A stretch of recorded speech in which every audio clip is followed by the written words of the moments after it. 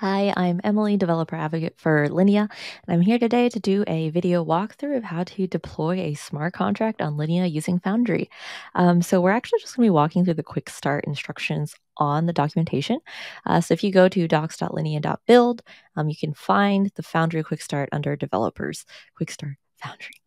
Um, so the first thing you'll need to do is make sure your wallet is set up to be able to connect to Linea. If you have your MetaMask wallet, um, you're going to be able to just default have it within um, the networks. Do you know that uh, you'll have to make sure test networks are on though in order to see it? Um, but now that you have your wallet set up with Linea, uh, we can fund it. So we'll need to use ETH on Linea um, to transact and to deploy our contracts. How do we get it there? We'll have to bridge over from the Goerli test network onto the Linea Goerli test network. Um, so you can get Goerli ETH by going to a faucet. So there's a bunch of faucets here. My preferred faucet is going to be Paradigm. With Paradigm, you will have to um, validate, I guess, your existence uh, using uh, your Twitter account. But otherwise, you can hit um, paste in your contract, uh, not contract, your wallet address here, hit claim. I already claimed for today, so I can't do it again, but that is the flow. Um, and so now that you have Goerli ETH, we can go ahead and bridge. Here are more detailed instructions, We'll just go ahead and navigate to the token bridge. We use hop, um, hit Goerli, hit Linea. Let's transfer over one ETH. We can hit send. Um, this will ask us to switch over to uh.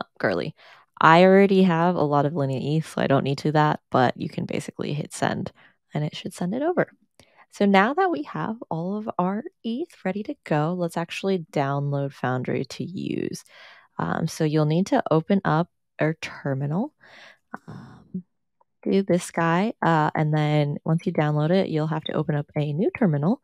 Um, I'm using um, iTerm uh, which is why I was able to do a split stream, split screen, or you could just use the default terminal from um, Mac, or if you're on Windows, uh, your terminal for Windows. Anyways, Foundry is installed, so let's go back here. We can actually just create a tutorial. So we can initialize a tutorial.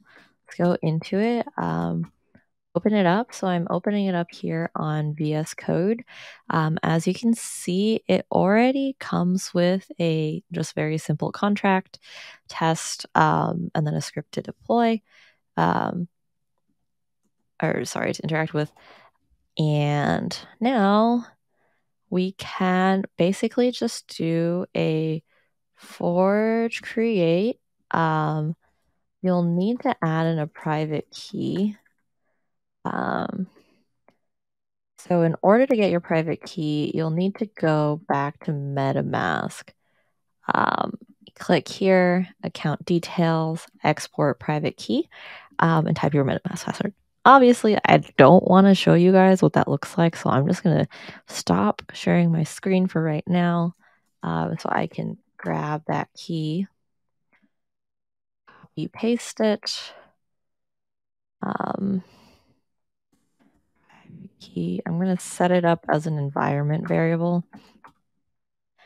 Um, so you guys can't see it. Uh, but now if I share my screen again, so I'm in a terminal that was opened up through VS Code. But anyways, um, forge create, uh, so the RPC endpoint, you just swap it out for rpc.goerli.linea.build. It's a permissionless public testnet right now, private key. Um, and like I said, I set this as a variable. Um, so you guys don't know what I'm using. Whoops.